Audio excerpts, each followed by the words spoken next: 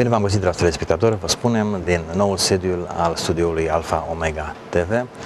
Realizăm această înregistrare la aproape o lună după ce ați fost împreună cu mine și, uh, în acest loc, la acest etaj întâi al Centrului de Media Alfa Omega TV.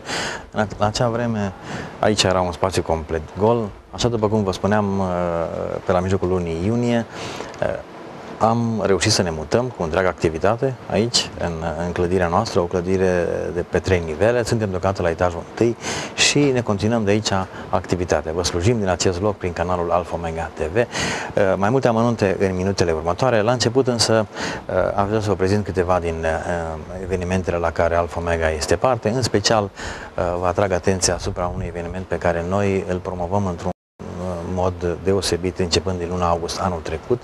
Este vorba de rugul aprins. Anul trecut, în luna august, am fost cu ajutorul Domnului uh, martor parte prin înregistrări și prin participarea noastră directă la întâlnirea de rugăciune Rugul Aprins de la Ponoară, județul Bihor, de undeva din uh, munții Bihorului. Am înregistrat acolo ore întregi de emisiuni, de program, de rugăciune, uh, cuvânt, slujire, revelație profetică. Anul acesta din nou vom fi alături de ei și cu dumneavoastră împreună vom fi acolo parte la rugul aprins. Pentru cei interesați, uh, care doresc de anul, anul acesta să participe. Anul trecut au fost mii și mii de oameni din toate colțurile țării. Am câteva mănunte uh, proaspete, așadar conferința Rugul Aprins anul acesta va avea loc în luna august, începând de joi, seara, se va deschide la ora 7 seara, 5 august și va ține până luni uh, spre amiază în 9 august. Locul de desfășurare este uh, în satul Ponoare, um, Comuna Bratca. La Comuna Bratca, uh, cei care n-ați fost și doriți să participați, uh, puteți ajunge la, în zona Comunei Bratca și de acolo în satul Ponoare, care ține de Comuna Bratca, uh, undeva dinspre Oradea spre Cluj, spre drumul național, la 55 de km de Oradea, dacă veniți din acea direcție, în Comuna Boroția la dreapta. Um, Bratca sau în o localitate de reper Beznea și Uh, în Bratca, după o barieră de tren, un indicator la stânga spre Ponoare, vor fi și uh, indicatoare de drum pe parcurs, dar uh, în această săptămână doar aceste prime informații. Ponoare, ediția din 2010, întâlnire de rugăciune, rugul aprins între 5 și 9 august 2010. Coordonatori sunt pastorii Sami Caba și Florin Dan, îi cunoașteți din emisiunea noastre. Aveți pe ecran și uh, două site-uri la care aflați informații suplimentare despre această conferință. Mulți uh, întreabă, de obicei această conferință nu se face pe bază de invitații, nu sunt taxe de participare, participă fiecare cum poate, cu mașina proprie.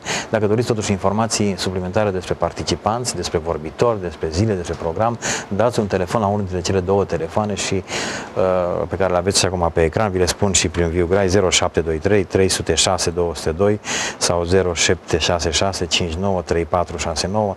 Unul dintre cei doi inițiatori, organizatori, mai exact Sami Caba și Florin Dan, vă vor răspunde. Bineînțeles, va participa și pastorul Ioan Caba, uh, fondatorul acestei mișcări, inițiatorul acestei mișcări, dar și alți invitați din țară și de peste hotare. La vremea potrivă vom da nume proaspete. Așadar, rugul aprins, august 2010, vom fi și noi parte. Pentru cei care doriți să intrați în atmosfera rugului aprins încă de pe acum, o scurtă, scurtă secvență am o întrebare pentru tine, omule. Cât de mare e Dumnezeul tău? Biblia numește Dumnezeul oștirilor, dar ce înseamnă Dumnezeul oștirilor? Dumnezeul oștirilor înseamnă Dumnezeu Savaot. Nouă predicatorilor ne place să explicăm lucruri complicate cu altele și mai complicate. Mi-aduc aminte că odată un predicator tot folosea în predică cuvântul oropsit, oropsit. Eu eram copil și nu înțelegeam și i-am spus, frate predicator, ce înseamnă oropsit? Și el s-a uitat la mine și mi-a zis, fiule, Oropsit înseamnă urgisit. Și am zis, frate, acum nu înțeleg nimic. Cum v-am zis și eu acum în dimineața asta că Dumnezeul oștirilor înseamnă Dumnezeu Savaot. Dar ce înseamnă Dumnezeu Savaot? Dumnezeu Savaot înseamnă Dumnezeu de necuprins de mintea omenească. O, înseamnă Dumnezeu măreț. Înseamnă Dumnezeu glorios. Înseamnă Dumnezeu slăvit. Înseamnă Dumnezeu El Shaddai, adică Dumnezeu atotputernic. O, dacă ai avea un Dumnezeu al oștirilor, n-ai dormi atât de liniștit în locul acesta. Dacă ai avea un Dumnezeu al oștirilor, n-ai vorbi cu cel din stânga sau cu cel din dreapta ta. Ascultați-mă bine în această zi.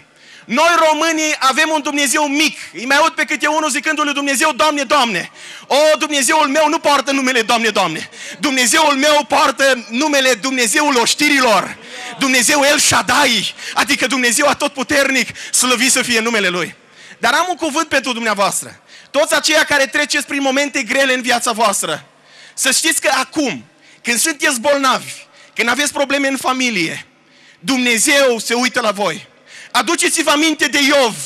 Când Iov într-o singură zi, nu cred că există durere mai mare, într-o singură zi și-a înmormântat toți pruncii. Într-o singură zi a pierdut tot ce avea și sănătate și avere, totul într-o singură zi. Și Biblia ne spune că în ziua aceea Dumnezeu se uita la Iov. Am văzut în această zi foarte multe bilete trimise aici în față. Să sunt mii de bilete trimise aici în față. Sunt foarte multe. Sunt foarte mulți oameni care trec prin necazuri. Știu că mulți dintre voi treceți prin necazuri. Să știți că în momentele acestea grele Dumnezeu se uită la voi. Se uită colegii voștri la voi și așteaptă să vadă în voi pe Iisus Hristos. Am văzut pe copiii aceștia care au cântat în față, mi-au plăcut atât de mult. Mi-am adus aminte de un copil, de un prunc, ce într-o duminică dimineața s-a dus la școala duminicală și învățătoarea i-a spus să-L primească pe Iisus ca Domn și Mântuitor în inima lui. Și copilul a primit pe Iisus ca Domn și Mântuitor în inima lui, însă copilul acesta era bolnav, avea și el o malformație la inimă. A doua zi copilul nostru s-a dus împreună cu părinții la medic. Și medicul explica părinților în felul următor. Dragii mei, le-a spus medicul, nu știm exact ce are pruncul vostru.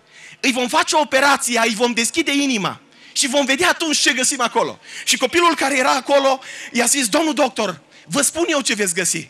Îl găsiți pe Isus. Medicul care era un ateu, convins, încurcat puțin, s-a făcut că nu aude și a continuat și a spus, vom face operația, nu știm acum, aparatele nu arată exact. Vrem să vedem ce găsim acolo. Și copilul din nou l-a, întrebat, l-a întrerupt și a spus, domnul doctor, nu mai trebuie să faceți operația. Vă spun eu din start ce veți găsi. Îl veți găsi pe Isus. A doua zi medicul i-a făcut operația acestui copil. Când i-a făcut operația și a deschis inima și a dat seama că nu mai poate face nimic pentru el. Dar a rămas atât de impresionat cum un copil poate să suporte suferință în mod atât de dumnezeiesc. Și când copilul și-a revenit din anestezie, medicul stătea lângă el și prima dată copilul când a deschis ochii, l-a întrebat pe domnul doctor, Ei, domnul doctor, ce ați găsit? Și domnul doctor a răspuns, l-am găsit pe Isus. Ascultă-mă bine, omule.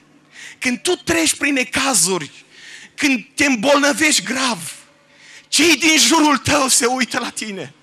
Se uită Dumnezeu la tine. Se uită și diavolul la tine. Oare ce vor găsi cei din jurul tău în tine? Oare îl vor găsi pe Isus? Doamne ajută-ne la asta!